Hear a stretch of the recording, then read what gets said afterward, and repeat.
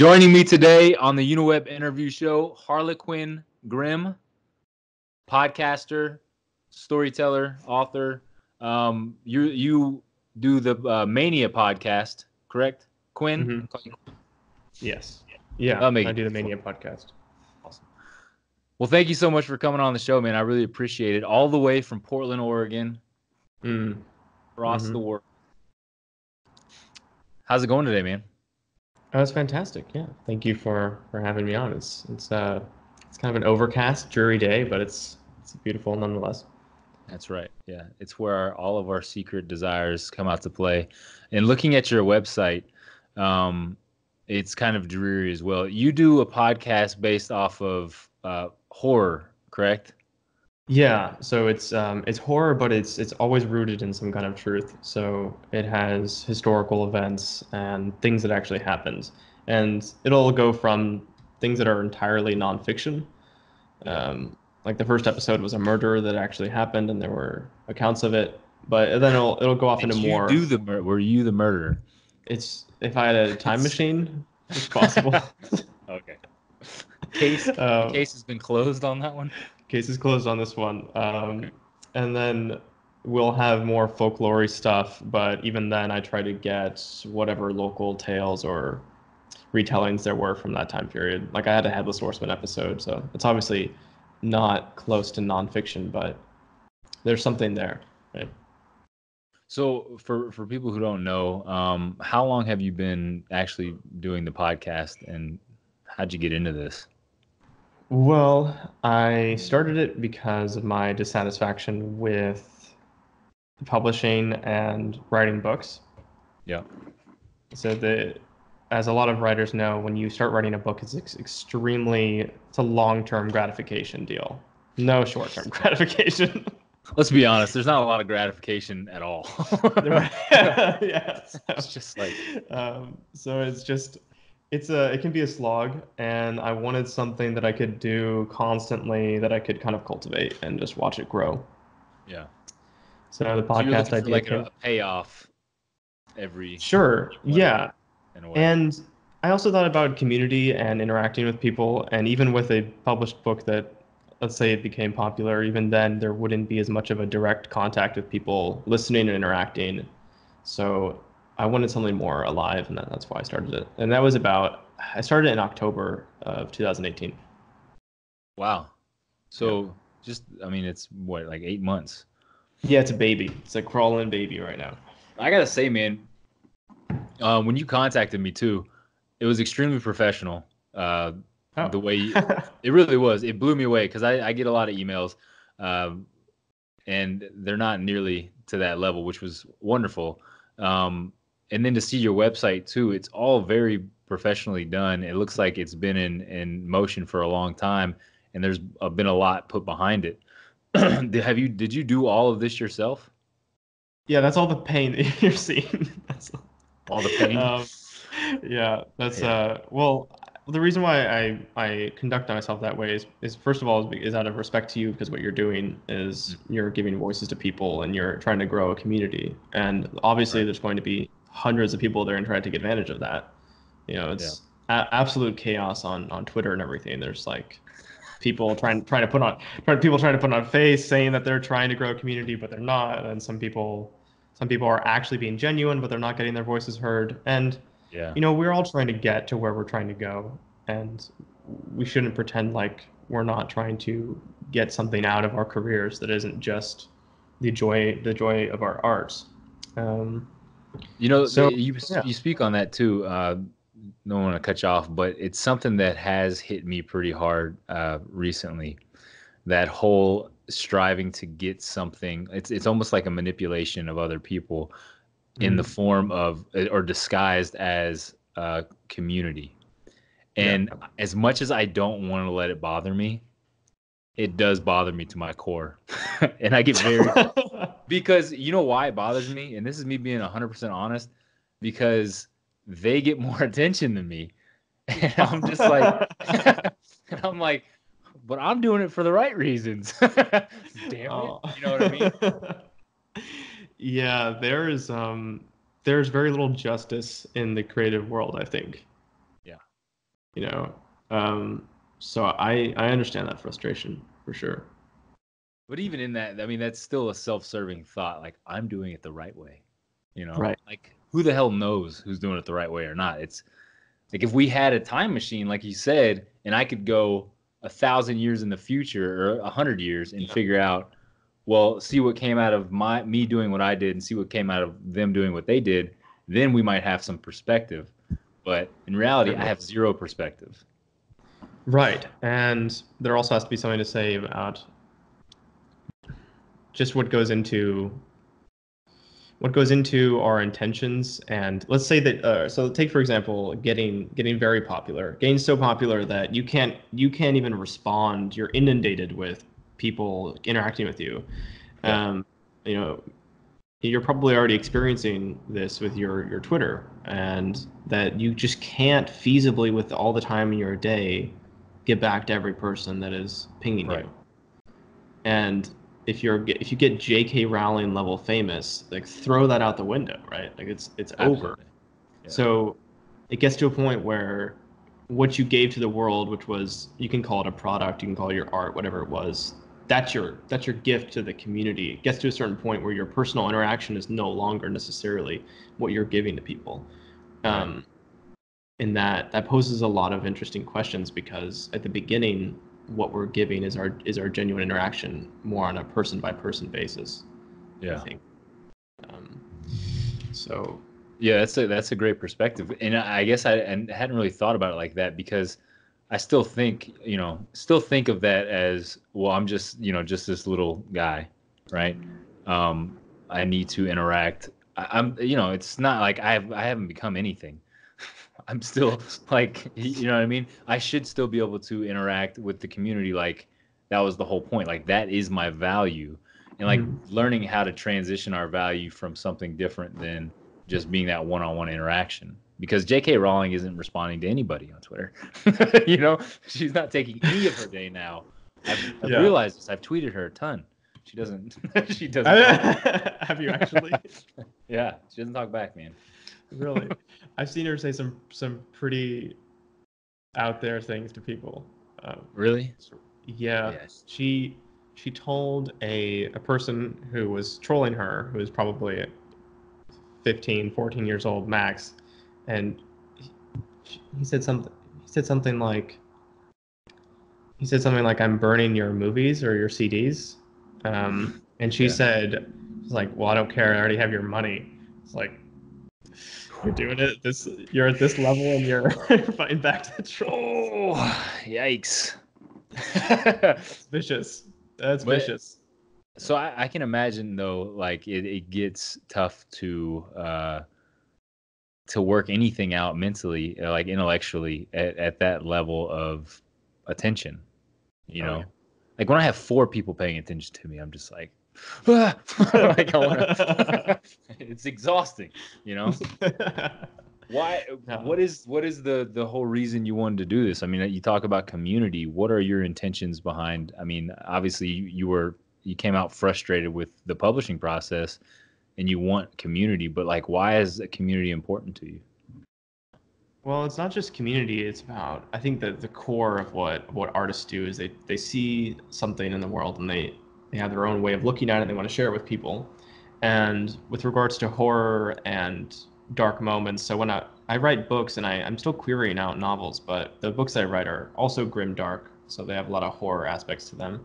Mhm. Um, the idea is to sort of to sort of portray and I guess plate suffering in a different way so that people can look at it and have a different perspective on it. Because so much of our lives is filled with with suffering, Yeah. and mm, basically the theme is that if we can shift our perspectives, we can radically shift our experience, and specifically with regards to pain or agony or things that we're afraid of.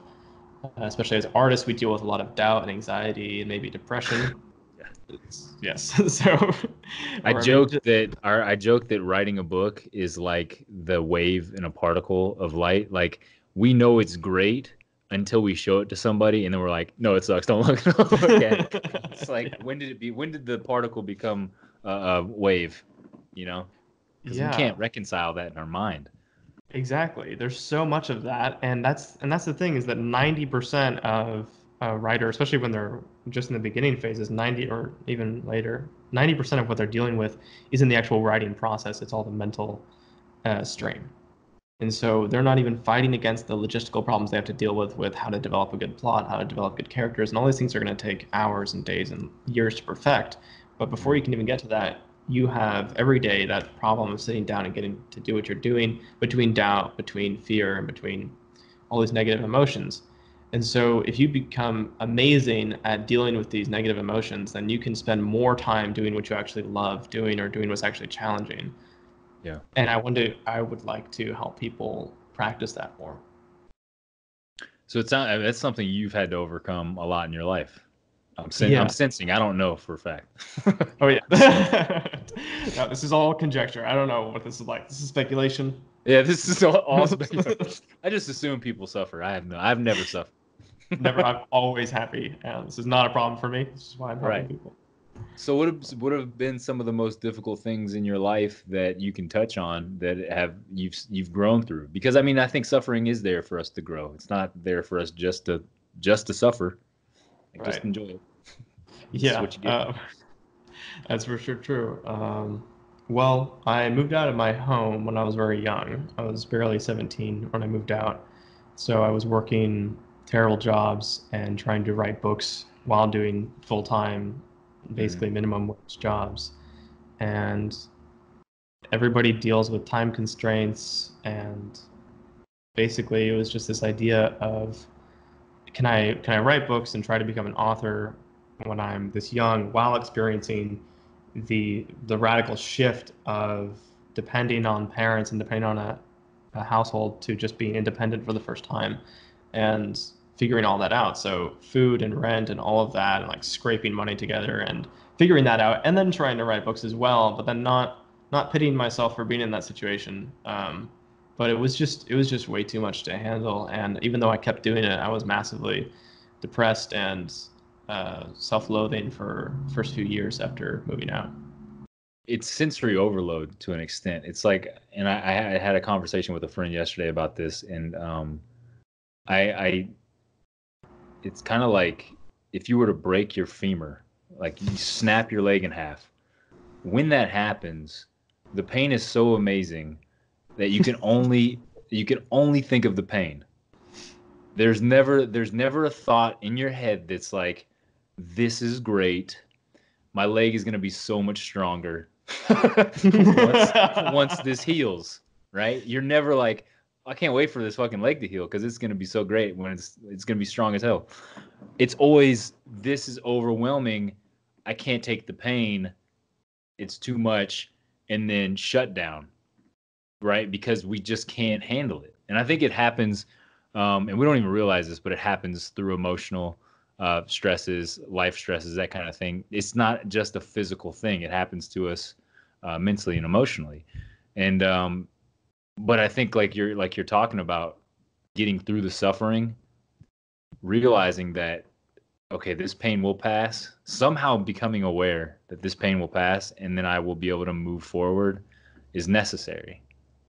Yeah, and I think it, to a greater extent, it kind of steps forward as well. My my philosophy with that, which is that we we always have the benefit of hindsight after the fact, and we we we look back on everything, and a lot of moments in our lives, admittedly, aren't analogous to breaking our femur. Uh, they will be for sure, deaths in the yeah. family, things like that, tragedies, but a lot of moments are you know not even ankle sprains. It's just right. a slap on the wrist or whatever. But because of because of how our minds work, we will cascade into these these pits of doom where we are our own enemies. yeah, we're on the ground like, ah! exactly. And so, if we can, if we can have the hindsight of ourselves one week after we freak out or go into chaos for over nothing, and we can have it in that moment, then we can spend however much percentage of our lives that we would normally spend in a state of perpetual mental anxiety or or um, fear, and we can just enjoy our lives because there's also this idea that happiness is just a pinprick on the human spectrum, and it's it's okay and maybe even fun to explore the human spectrum of emotions and just sort of dwell in each one and appreciate it for what it is. Um, yeah. You know, happy. If we were to sustain happiness for so long, it would, it, it wouldn't be the bright and bubbly thing that it is. So absolutely, and yeah, what are we here for if not to experience, right? Yeah. And to only experience one aspect of our human nature would be kind of a waste. Yes, exactly. So, especially in our in our Western society, there's this rat race for happiness, and it's, it's super intense, and arguably what what leads to a lot of the depression. And yeah, yeah. It was comparison is the thief of joy. I think that's the phrase. Yeah. So, people. It's funny that we do that too, though, and I, I've recently given up. um, because it is. It's like you chase. It's I, I call it false finish lines like we're always and it, it when you talk about the the uh, gratification of publishing a novel, I had that in my mind that once I get this novel written, I'll be something, and I publish it, then everyone will know that I'm not a failure and I'm some somebody to be taken note of. And when nothing happened, when, I, when I published it, and I was like, wait a second. I thought light I thought light was supposed to come flying out of my friggin' ears or whatever, and nothing happened. Um, it was that realization that oh, it's all about just the journey. It's about every aspect of what went into writing the book, about what goes into every part of my life. It's not about the feeling I get from the thing. Yeah. Yeah. So, exactly so with your writings too and is that something you explore a lot? I mean with horror i know obviously you're writing about fear. Are you exploring your own personal fears in attempt to overcome them before they happen in real life? Before i get murdered. Um, exactly. Uh, i think I, I just think it's well it's really fun. It's very entertaining for me. But the the show takes that whole philosophy and just kind of breaks off one branch of it. And the show talks about how the quote. So the theme of the show is this is this line I wrote. Uh, within every nightmare's heart is a crying infant, and with every monster's soul is a child helpless. This idea that if you were to take the worst people in our world, so Hitler or Stalin or anybody, a serial killer, you wind back the time to when they were a three year old crawling on the ground or they were a child, they would be as as innocent and innocuous as anything, and that there's this there's this sort of unrolling of of fate, and I think that evil and wrongdoing and all the things that we associate with it uh, are really misunderstood, or at least we have really archaic understandings of it, right? Um, so I don't sympathize with people who do horrible things, right? I don't excuse their behavior, but I think that their perspectives are really ignored. And I think that is a tragedy for writing and art in general that we ignore this this gigantic spectrum on average, which is people who who are are portrayed as evil or are evil or do something bad. Um, and that their perspective too, we can be flexible and work around it to learn from it, the same way that we learn from our own our own misery, our own pain, and come out of it wiser. Yeah, and I, that's interesting because it is like, to what extent then am I allowed to make a mistake and become something different, right? Because if I'm judging this person on what they did in that moment for the rest of their life, then that's a standard that I also have to hold to myself. And then I, I inadvertently trap myself in that way. Right. And then it yeah. becomes like this sick cycle of I can never be anything more than I am right now or at my worst moment. Yeah. Yeah. And that's tied to all kinds of weird philosophies like determinism is really fascinating for me and, and uh, the argument against free will and things like that. So I explore concepts like that in the podcast a little bit. Yeah, it is interesting to think of uh, Hitler as a baby. you know? That is weird right? Because yeah you only imagine him as a, a murdering psychopath right. that yeah, just wants it, the death and destruction of everything. And it's absolutely inexcusable um, but we there's a there's a certain point where if you take if you take someone's free will out of the equation, so uh, Hitler or anybody else as a baby, and you're just analyzing moment by moment all the variables in their life that conspire to make them who they are when they're 18 or 19, eventually doing these horrible things and cascading into this into this murderous plot. Okay, so we can clearly see what what led them to be this person, and we can't. There's certain times where we can't even blame them. The same way that we don't necessarily blame somebody who is uh, schizophrenic for hearing voices, right? Right. Like, we, like that's something they're born with, um, and so that's a philosophy that isn't really fondly looked after. The idea that we ne- we may not necessarily have free will uh, in the authorship of ourselves, and so, but it's it, it's definitely something to be to be looked at because there's there's clearly some evidence for it, um, at least to think about it. Yeah, and I think what you're touching on too is a lot of kind of what the whole world is is coming to the point of what does it even mean to be human? Like at what level is it do we stop becoming human? Because and there's a lot of lot of stuff going on now politically with that in mind. But um, even with the the you know the LBGTQ community, um, Mhm. what does it mean to be like? Um, are, am I still a part of the human race because I identify as this, this, or this? Right. Um, and we forget the perspective of we were all, we were all just these little balls of crap, you know, at some point in lives. Like even you know we we go immediately with the evil perspective of well Hitler was a baby, right? But what about when like uh, Buddha or Jesus was a baby?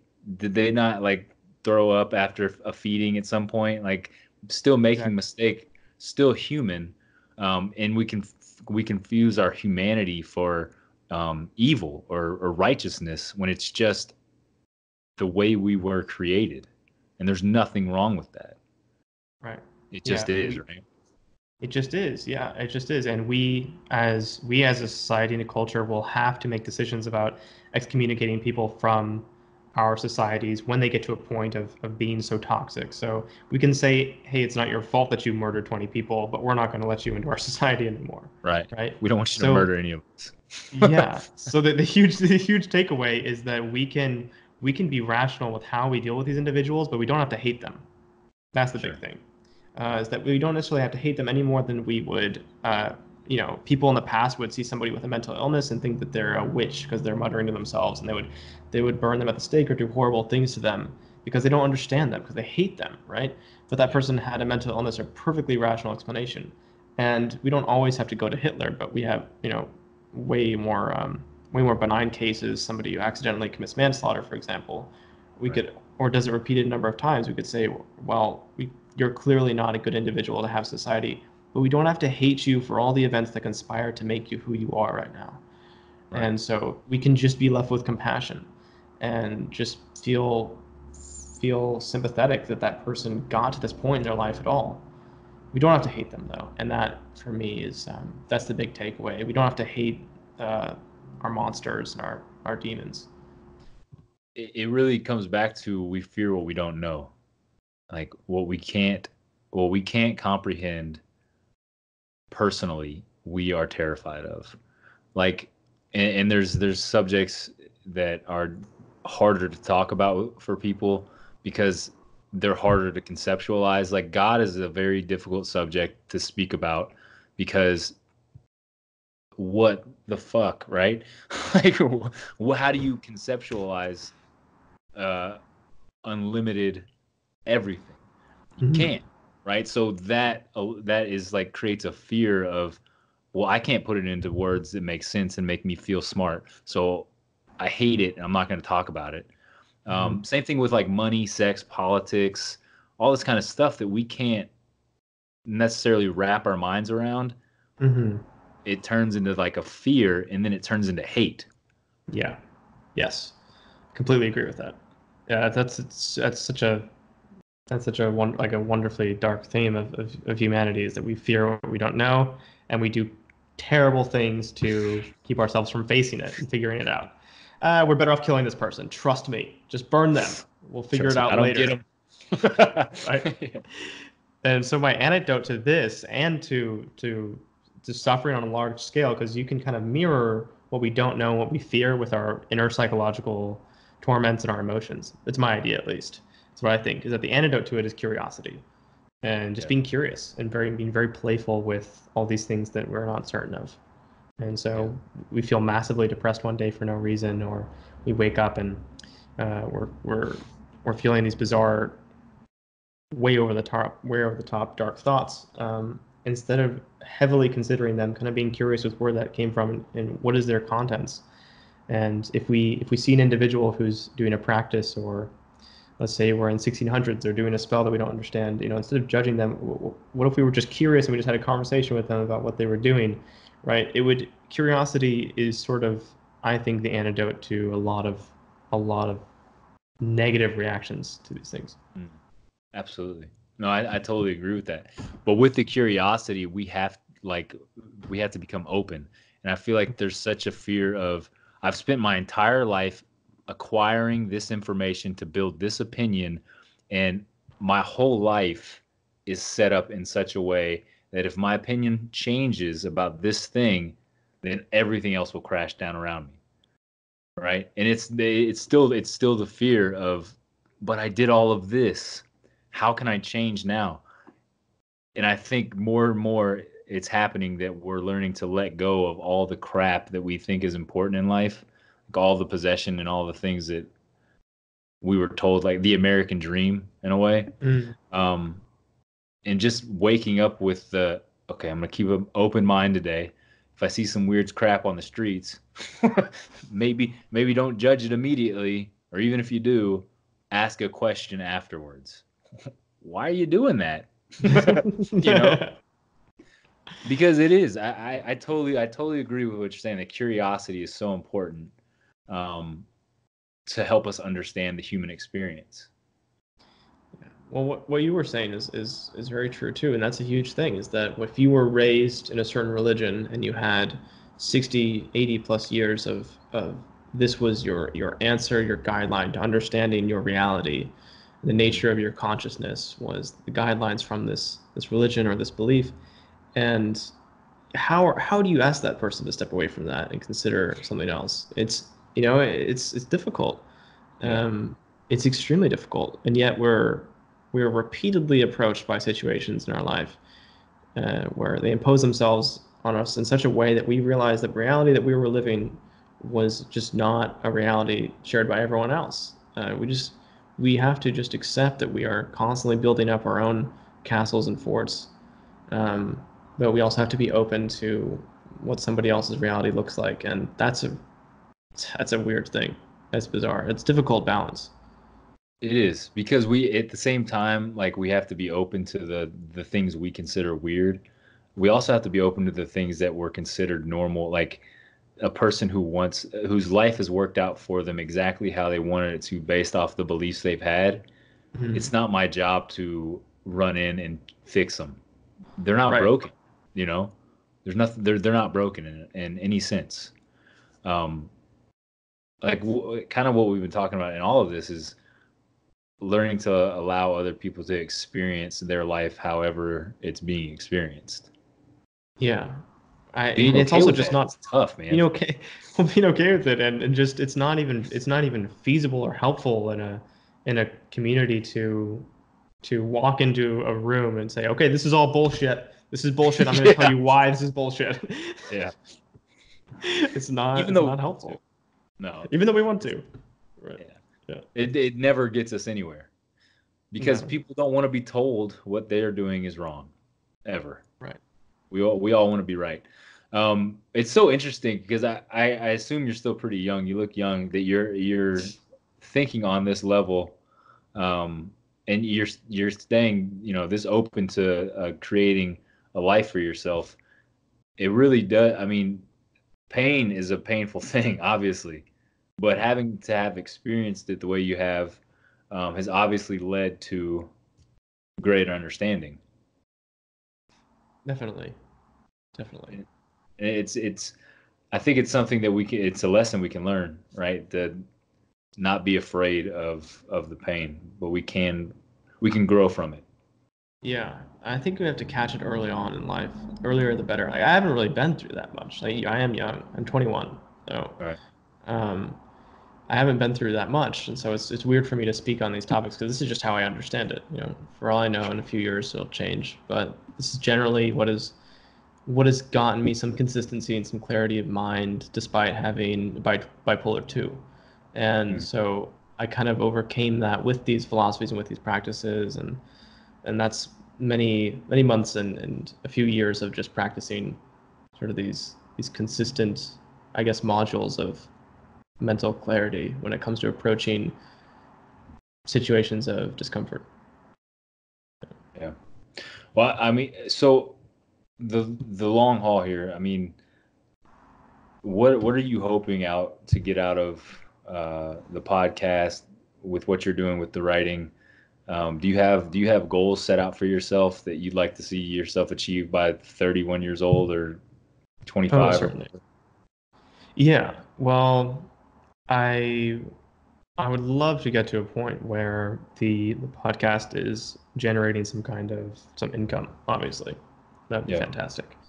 Um, but so there's that. I would love to be self-sufficient independently as a as an artist. Um, I suppose that's a that's a very superficial uh, goal. Do you do you mean achievements or goals that are, It's- are Well, outside of that? well, it's superficial, but it's also necessary. So it's, it's like, completely necessary. yeah, like you can't need to survive. You can't burn on both ends, you know, when you're Right. when you're 40 years old, the way I am right now. Um, so yeah, there's working that, right? and trying to do this, it's it, it becomes overwhelming. Absolutely. I, I've had to give up a lot. My my social life and amount of people I spend time with outside of my work and then my work at home and then my my my one or two hobbies that I do outside to fulfill some sort of feeling of, of just satisfaction with doing something outside of success. Right. Between those three things, I'm my time is, you know, it's like 20, 30 minutes here or there that I don't know what I'm doing and that's about it every day. Yeah. But I, I'm sure you've probably heard this a lot. Um, there's a lot of speakers that talk about it about if if I could have just sacrificed my 20s and like the time where I had so much energy into creating something like you're doing now, because I I see this in so many people I've talked to and all the authors I've talked to, the greatest superpower in history is perseverance. It Yeah. honest to God, it will erode any obstacle in your path as long as you keep going. You know, and you'll build the thing that you want to build if if you and that's a completely human superpower. But it is a Oh, yeah. superpower, 100%. Absolutely. For sure Because it it's hard as hell to get. oh yeah yeah discipline and, and perseverance are massive superpowers yeah absolutely yeah um, it's difficult though um, you know when you're a lot of people don't know what they want to do when they're in their 20s and it, Right. it's it's so so i recently joined uh, this is an anecdote sort of about that is i recently joined the studio where we do we do aerial fitness aerial fitness is um, uh, like trapeze and silks and uh, the apparatuses that you see in circus performances. And so that's Yeah. one of my hobbies that I do. And uh, sort of in that genre is ballet dancing. Uh, Right. It's sort of a, just because it's it's body movement and it's about looking beautiful and graceful. And Mm. so you have to have a lot of uh, physical endurance to do that. But some uh, professional ballet dancers said that uh, I was asking somebody else if I was too late to start doing to become a professional aerialist if I ever wanted to do that. Um, and somebody said that in the ballet world, this one professional, she said, "Oh, don't worry about it. This person started when they were 14, as if this was super late, as if 14 was this like Yeah. late bloomer. Uh, 14 years old to be a ballet dancer. Man, She she, came got in her with stuff her together. Yeah. it's like, how are you supposed to know the extent of your career, your passions, and your fulfillment? By it just is absurd. Yeah. You know, if there's a superpower that's not reliable in terms of attaining it by choice, it's knowing what you're going to do and what you want to do when you're 13. Yeah, and, Right. and you know, uh, one of the one of the other things um, too with that is being and we're talking about being open about things too. It's like being willing to allow your passions to change. Yeah. There's nothing wrong with that. You know? Absolutely nothing wrong with that. Like you could become the greatest ballet dancer or just a good ballet dancer from the age of 14 to 18 and then your passion changes and you want to do something different. And it's just like we were talking about the the pinpricks, like a pinprick of happiness, experiencing. Why would I spend my, spend my entire life only experiencing one form of art or joy? Like I had to get away from thinking that Matt, you're a writer, because right. a writer isn't performing on stage or you know performing in front of a camera. Like I also want to act. I want to do a lot of other things. If I say I'm just a writer, well then I'm going to be sitting at my computer writing. Right. Kind of boring sometimes.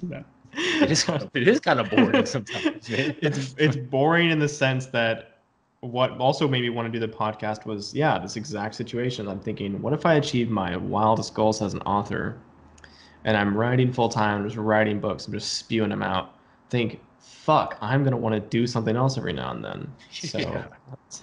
man so i had to start getting on exploring that idea and kind of just saying okay let's not be so myopic let's explore other forms of expression and yeah, that's a, it's a huge thing, and people let go of it because it's a part of their identity. They don't want to let go of it. Um, you know, if somebody decides I want to, I'm going to be a writer, and all of a sudden they're so attached to this idea, or want to be anything, and they'll do it.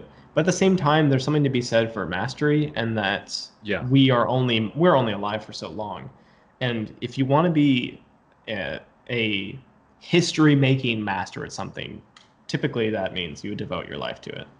Right? Which you know, it's to some capacity, and I think you can do it with a few things at once, maybe three, like three or four main things, but you will have to sacrifice a lot: sleep and social life, and um, yeah, maybe romance. Yeah, because you really can chase something down to infinity in, in right. everything, right? Yeah, um, yeah.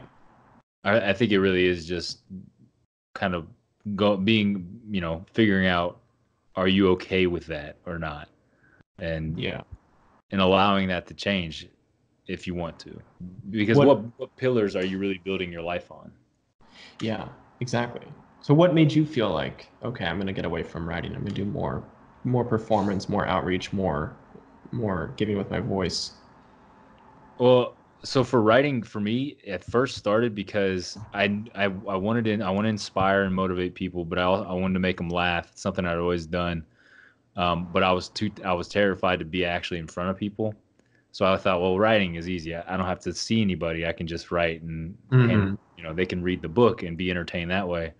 Once I did that, it was the most freeing experience ever because I I like transcribed all of my darkest feelings into the book and it set me free you know mm-hmm. to where i thought i want to i want to hear other people's stories like holy crap i just wrote this. Like my story i think is is life changing for me. I think other people's are as well. And i was terrified to do this man. Like this happened this started four months ago for me and really? This is four months ago wow yeah and i've done over 100 interviews now um and it's lot. it's been insane i've been on in front of a camera every single day for four months the fear is completely evaporated, but it also completely it's gone. But it also like it reminded me I love to entertain people. I love to be silly and goofy and do stuff. I don't have to peg myself down to just being a writer because that's where it started. Like I can allow things in my life to grow into other things. And it's mm-hmm. just taking a leap of faith, you know. And and honest to God, just kind of following inspiration and allowing it to happen because it was it was inspiration that said, "Hey, would anybody be interested in me interviewing them on a, my YouTube channel that didn't exist at the time? it didn't exist when I asked the question. It mm. existed the day after, and that's what was born of it. But I just listened to the inspiration, and I wasn't, I was, I didn't judge it, you know, because we, I can do that a lot. I'll judge the inspiration when it comes to me, as opposed to just leaning into it and see where it takes me and I, I do that. I still have trouble with that sometimes when I write. Is I'll mm-hmm. judge it before it's the whole idea is fully fleshed out, or give it time to breathe. You know, and I think that is the heart of a creative spirit. Is become the art, let the art just come out of you, don't judge it, and then see what other people make of it. This is what Yeah. art is, right? It's like let's see how it inspires somebody else. Certainly. Yeah. So that's that is a big thing. Is this sort of just uh, this uh, uh, letting it to con- letting it consume you is is a big thing that I think people can miss out on, for sure. Is they get distracted with what they would like it to become or or what they would like it to do for them, how it would like to open up avenues in their lives. But if you can sort of throw yourself into your art, whatever it is, or your practice or profession, whatever that may be, and just kind of let it consume you, Yeah. I think that that it can really do a lot in developing whatever it's meant to become. Yeah, I have the saying that um, stop trying to be good at the thing and just get lost in it. You know, because when we get lost in it, we will naturally attain whatever skill set is required of it because we're so into it. But like the idea of being good at it can get me stuck on am I better than him? Am I better than him? And then in the comparison game never works out. Yeah, it is. A, it is a fool's game. That's what It it, is. feels like. And I try not I try not to be a fool as often as possible. I just sort of embraced it. Like, Okay, Yeah. here we go. Yeah. Well, I know you There was- the yeah. you have the jester hat. I do. I have a tattoo on my arm as well. It's a reminder. I sort of gave up. This is an idea that I. This is an idea where a long time ago I I, I wanted to be lofty, very smart and uh, wise, intellectual, and kind of just realized that if you get rid of that bullshit and you kind of accept that you don't know too much and you go into situations assuming that you don't know as much as you know you'll end up learning more as a result. So the idea of kind of being the fool, being curious, and being open to falling is, I think it's empowering because you immediately surrender the fear of failure and the the fear of making a mistake. You're okay making an idiot out of yourself. You're okay being an amateur at something. Yeah. It's one of the wisest things I've heard, man. It it is because, yeah, not knowing or knowing that you don't know anything is like the key to learning. Right. Yeah. It's um, it's a weird paradox. Kind of. It is, and I've I've talked to people about this before too. Of um, how it's it's not ego that allows me to do any of this in front of a camera or get up on stage now and do anything. It's you, honest to God, like humility in the form of I have no clue what I'm doing. I'm just uh, I- I'm okay with being a screw up and knowing that I will mess up. Right. And in that humility, I can get up and do anything. Yeah.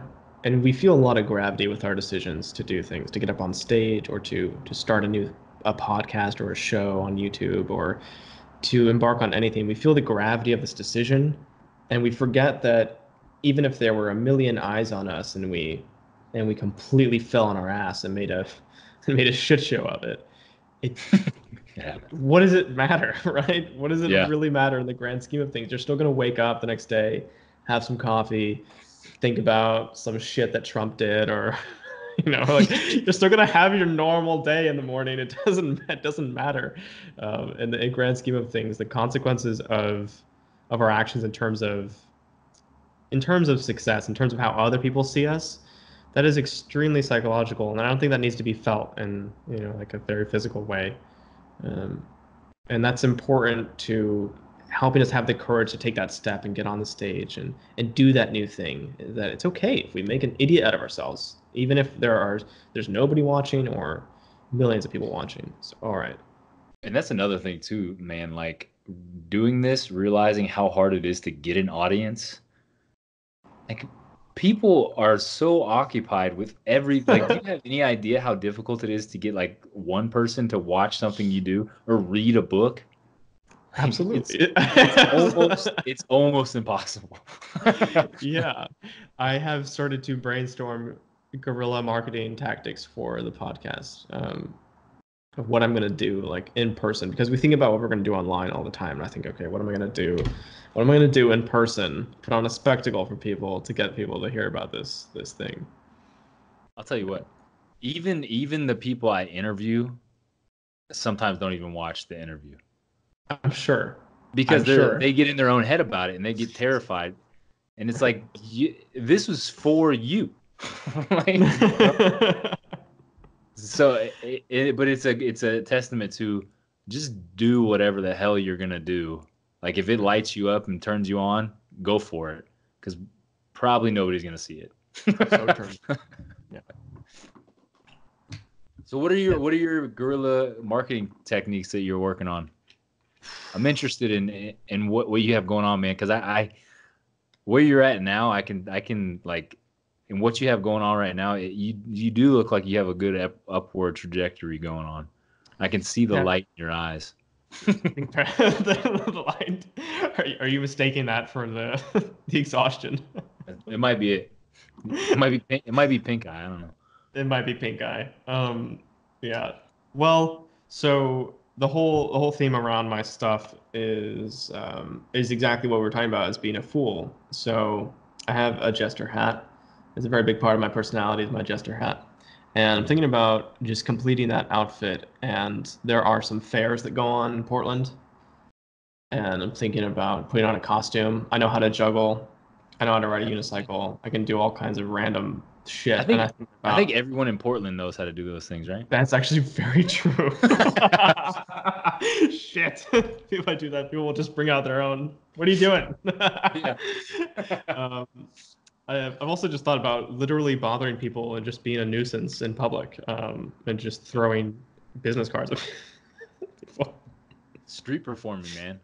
Exactly. Um, you know, people do like, on the internet. It's really easy to be, you know, vivacious and and alive and crazy or whatever. But if you can do that in person and leave a mark on somebody's and actually be an interesting part of their day, how amazing would that be? So, Yeah. That's where the real fear comes in. oh yeah, absolutely. Yeah. Because it does become, oh my God, if I piss this person off too much, they could kill me. right, but then that's good because if somebody catches that on camera, you're viral in a second, so it's fine. Virally dead. on camera. You're assuming that I couldn't defend myself in this scenario, which is yeah, I mean, you do have, insulting. I mean, you've got juggling techniques and uh, unicy- unicycle skills. I can imagine you're quite the martial artist as well. You haven't heard of unicycle jujitsu? You haven't heard of that? I haven't, man. Is I can uh, do I can do an arm bar with a unicycle. Nice, bro. Maybe you should start teaching classes on the street how to how to kill people with unicycles. That's like that's Portland's been waiting for. It really would. That was yeah. I don't know why I'm doing the podcast. I could just open up my studio and just train people how to do that. There you go. Defend yourself with your unicycle. Yeah. That's fantastic, man. So when are you planning on getting out there and actually doing the thing? Do you have a date set? Um, I'm thinking about doing it more late late summer. I haven't completely figured it out yet, but I'm pretty bent on it because I I love developing my my personality online and through my writing, but I would I would love for it to be more part of my life where I'm comfortable being that person in person. Yeah. Right. So I'm thinking around maybe July and August there. Some of the some of the greats started on the street, man. I just went and saw Eddie Izzard uh, the other day, and uh, he started out doing improv and stand up on the street corners in the UK, just like because there was that love for it, you know, that love for entertaining and connecting and, and doing that kind of stuff. But the like, you got to be, you have to be a little bit insane. Right. Um, you have to. Well, the character you're playing has to be a little bit insane to make it happen. Because a normal person isn't riding a unicycle, juggling, throwing cards at people. That's true. Shit. from my Uh, from my research, from my extensive research, that's just not what normal people do. Take that into consideration. That's great. I love the idea though, man. And I'm really, really excited for you to to see um, all of this grow and in what direction it's going to take for you. Well, it'd be great. I, I love that we connected too because it's all about building each other up. So that'd be Yeah. fantastic if I could help build you up too in your community. I think that's fantastic. Absolutely, man. Yeah, one person helping another. I think that our uh, getting to experience things and then be of service. Like all the great teachers of the past have talked about love, tolerance, and being of service to others. And if we can't figure out that, hey, we're we're here to be in relationship to one another, help one another, and we're really missing the point. Like Literally, Yeah. I'm in relation to everything around me right now. Like if my ass didn't realize it was in a relationship with this chair, I would mm-hmm. fall out of it. You know what I mean? Like I'm in a relationship regardless of whether I want to be or not. Can I be of service to the things I'm in relation and to another human being that experiences things the exact way I do? Like that's the most fundamental way of being in a good relationship with another person.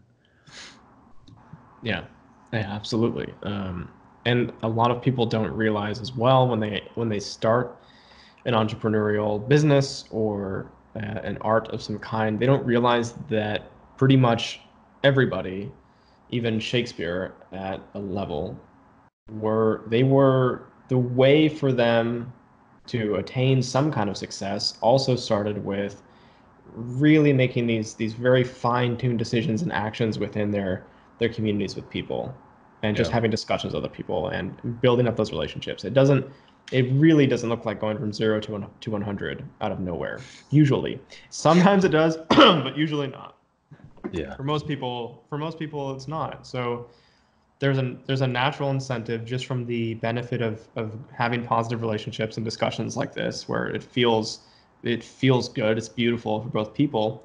Um, but then there's also the more logistical benefit of it where you're building your community and your audience and and so it's a it's a twofold benefit. Um, and i don't always want to look at things as if they're either helpful or not um, in that way.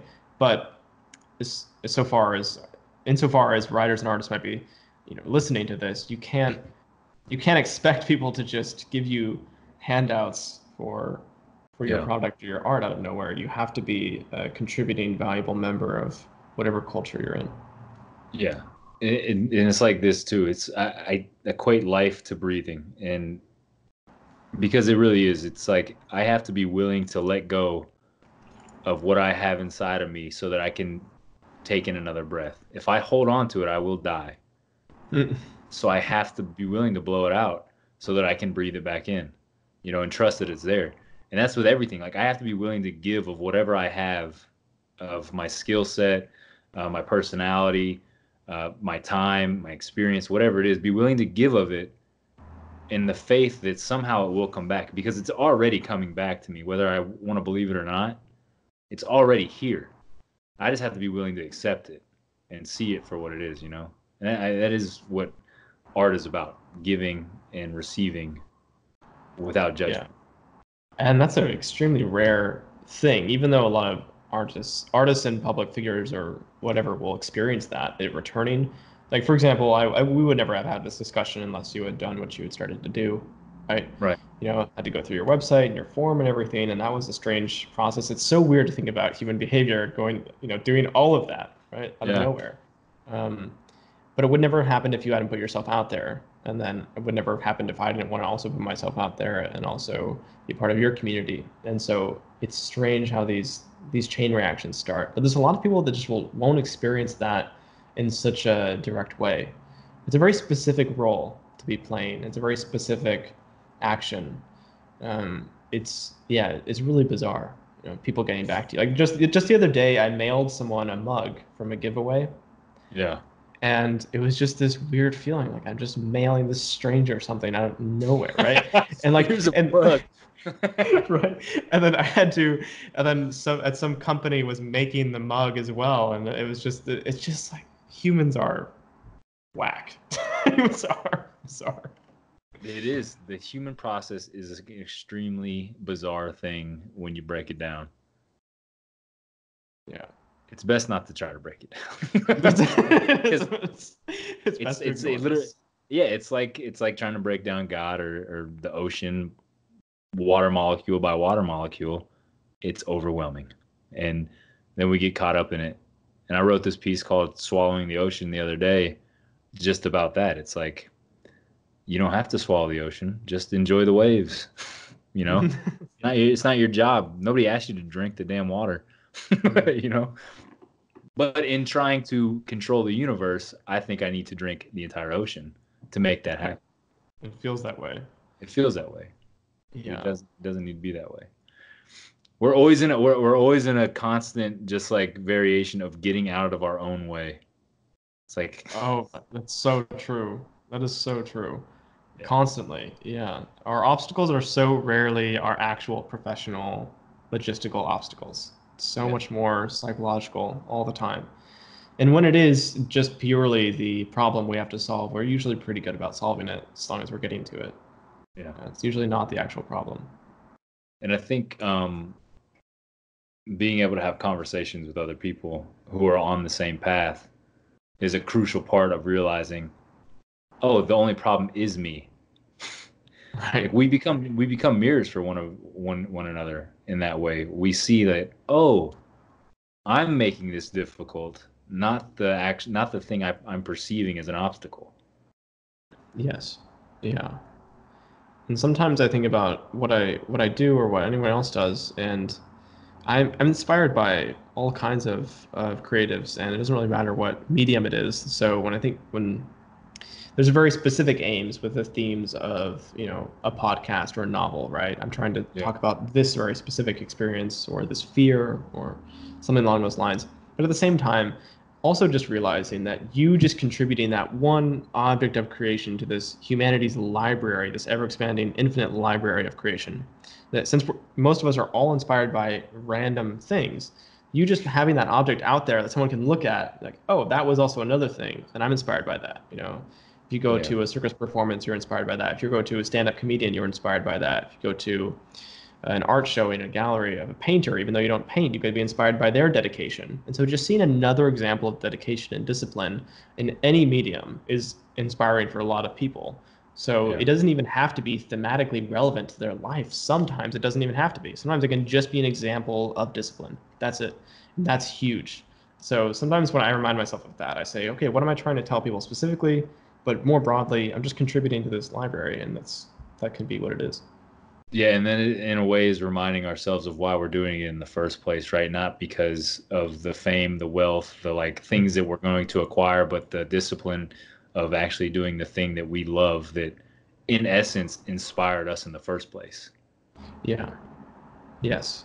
And Get, for, the, hell, get the hell out of my way, Matt. like you weren't doing it for any of that stuff. You were doing it because you were inspired. Just do it. yeah. And I think also the I'm not, not sure if it is the same for you, but I, I also it helps me make more sense of my reality. So that's a that's a piece for me is that it's it's a way of making sense of how I see things as well. Because I don't know, you know, you don't know what you think until you write it down. I didn't I didn't write that. Who somebody said that before, but um, I'm so sure I'm not did. I'm not plagiarizing that. Somebody's did say that before. Um, Yeah. But yeah, you don't know what you know until you write it down. Somebody said that. That's very true. And so I think that when you're have a have a discipline for an art, you're slowly but surely understanding more about yourself, and in turn, how you take in reality and consciousness, and that's that's um, that's very clarifying. Um, it makes for a lot of peace of mind when it comes to just different obstacles coming your way. I think. Yeah, absolutely, man. Dude, this has been this has been a lot of fun getting to talk to you, man. You, you're uh, you're I, you're it's I, I talk about being awakened and like having this um, just idea of being awake. It's you, I can see that in you, which is cool. Um, Oh, seeing somebody so young that you just have an open mind, you know, and you're processing it. You're not letting it overwhelm you, which is great. Um, Harlequin Grim. Why is that hard to say? Harlequin Harlequin Grim dot com is where they can find podcasts, your stories, and everything about you. Correct. Correct. Very correct. Well, I'm I'm very excited to continue uh, seeing your path moving forward. I will give you the last word here, uh, and tell the people watching whatever you want. So go. It's all you. What Whatever I want, I have the stage here. That's right. Let's see. I would say, whoever's listening, if you have something pestering you in the back of your head, some kind of passion or a desire to do something, but you haven't been doing it for whatever reason, um, that you really have no excuses right now and you just have to go do it pretty much immediately when this video ends. Sorry. I need you to threaten them with something, please. It's true. You have no other time but now. mortality is closing in. The gaping maw of death. Let it inspire you. it. It's on the way. There is no tomorrow, as uh, the trainer of Rocky said once. There is no tomorrow. Go and do it now. Harlequin Grim, thank you so much for coming on the Uniweb interview show. I definitely appreciate it, man. We will stay in touch. I'll put links to all your information in the description of the video below where people can come and find you.